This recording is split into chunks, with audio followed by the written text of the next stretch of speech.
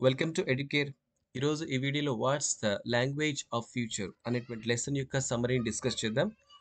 By Henry Hitchings okay దీన్ని ఎవరు రాస్తారంటే హెన్రీ హిచింగ్స్ రాశారు. ఓకే దీనికంటే ముందు ఒక చిన్న గమనిక ఇదేంటంటే మీరు ఈ వీడియోని ఊరికి వినకండి. ఒక పేపర్ పెన్ను తీసుకొని దాని స్క్రీన్ పైన ఇచ్చినటువంటి టెక్స్ట్ చూసి రాసుకొని నేను చెప్పేటువంటి ఎక్స్ప్రెషన్ వినండి. ఓకేనా సో దీనివల్ల ఏంటంటే మీరు మెటీరియల్ కొనాల్సిన అవసరం కూడా లేదు. ఒకవేళ గ్రామర్ కావాలన్నప్పుడు మాత్రం మెటీరియల్ తీసుకోండి. అయితే మ్యాక్సిమం ఎస్ఎస్ కోసం అయితే ఇక ఈ ఎస్ఏ సరిపోతుంది. ఎలాగో మీరు హ్యాండ్ రిటర్న్ రాసుకుంటారు కాబట్టి ఇది sufficient. Okay let start Henry Hitchings is a specialist in language and cultural history. Henry Hitchings ఒక ప్రత్యేకమైనటువంటి వ్యక్తి. ఎందులో అంటే భాష మరియు చరిత్ర సంస్కృతుల్లో. He is a critic and published many works related to language ఈయన ఒక మంచి విమర్శకుడు అండ్ చాలా బుక్స్ని నా పబ్లిష్ చేశాడు ప్రచురించాడు. ఇంగ్లీష్ లాంగ్వేజ్ సంబంధించి. What is the language of future is taken from his book the language words ఇప్పుడు ప్రస్తుతం what is the language of future అనేటువంటి బుక్ లెసన్ మనం ఆయన రాసినటువంటి బుక్ అయినటువంటి ది లాంగ్వేజ్ ఆఫ్ వర్డ్స్ నుంచి తీసుకోవడం జరిగింది. He gives how English language has been existing throughout the times ఈయన ఇందులో ఏం చెప్తాడంటే చాలా గత చాలా వేల సంవత్సరాల నుంచి ఇంగ్లీష్ లాంగ్వేజ్ ఏ విధంగా ఉండింది ప్రస్తుతం ఎలా ఉంది? ఫ్యూచర్లో ఎలా ఉండబోతుంది? అనేటువంటి విషయం ఈయన చెప్తాడు. Times and how it would be in future English is a link language for the world in the field of field like shipping diplomacy computing medicine and education English అనేది ఒక లింక్ లాంగ్వేజ్ లింక్ లాంగ్వేజ్ అంటే ఒక రంగం నుంచి ఇంకో రంగానికి అనుసంధానం చేయాలంటే ఒక భాష కావాలి. ఓకేనా? అదే ఇంగ్లీష్ అన్నమాట. ఓకే.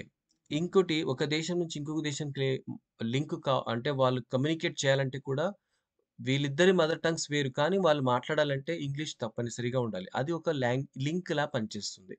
అయితే ఇంగ్లీష్ అనేది లింక్ లాంగ్వేజ్. ఎటువంటి వాటిల్లో అంటే ఎటువంటి రంగాల్లో అంటే షిప్పింగ్లో డిప్లొమసీ డిప్లొమసీ అంటే నెగోషియేషన్స్ అన్నమాట. సంప్రదింపులు చేయడానికి కూడా ఇంగ్లీష్ ఒక లింక్ లాంగ్వేజ్. కంప్యూటర్స్కి సంబంధించినటువంటి డేటా ఫీడ్ చేయాలన్నా కూడా ఇది link language. Computing medicine and education. In Arabic speaking countries also it is taught ఇప్పుడు ప్రస్తుతం ఈ అరబిక్ మాట్లాడేటువంటి దేశాల్లో కూడా ఇంగ్లీష్ని బోధించడం జరుగుతుంది. The spread of this language to various countries happen because of colonialism ప్రపంచమంతా ఇది ఎందుకు విస్తరించిందంటే వలసవాదం వల్లనే ఇంగ్లీష్ విస్తరించింది. కలోనియలిజం అంటే వలసవాదం.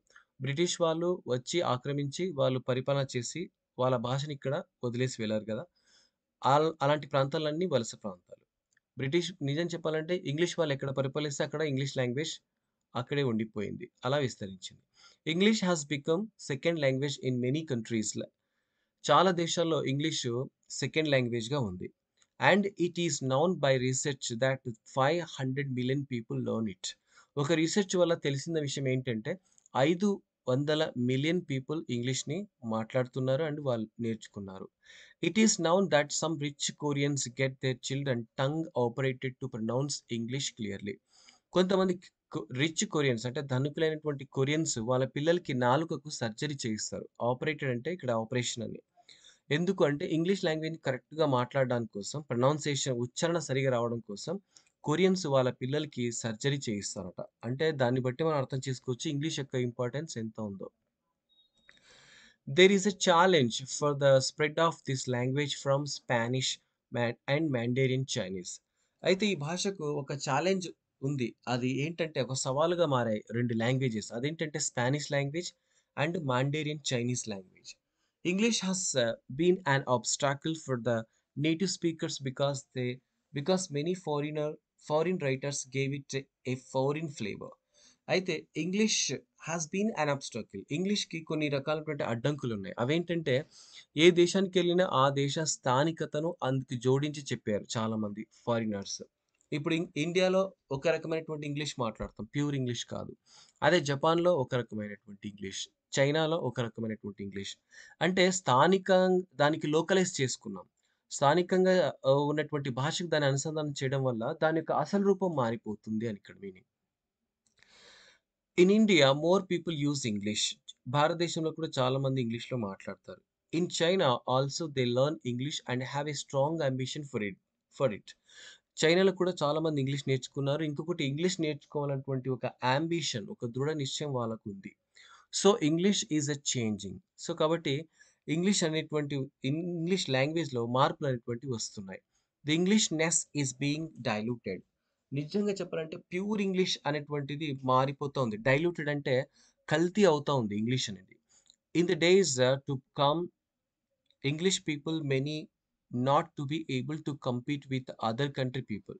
కొన్నిసార్లు ఏంటంటే ఇంగ్లీష్ మాట్లాడేటువంటి వాళ్ళు మిగతా ఇంగ్లీష్ మాట్లాడేటువంటి దేశాలతో పోటీ పడలేకపోతున్నారనమాట.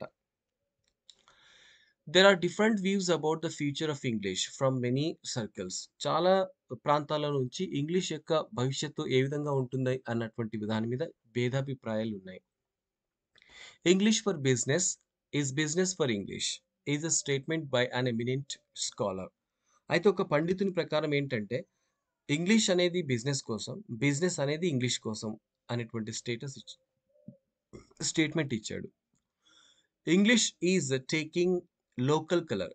చూడండి ఇంగ్లీష్ అనేటువంటిది ఇంటర్నేషనల్ నుంచి నేషనల్, నేషనల్ నుంచి రీజియన్. అంటే స్థానిక భాషలోకి ఇది కలిసిపోతా ఉంది. As the member of languages sorry number of languages is decreasing.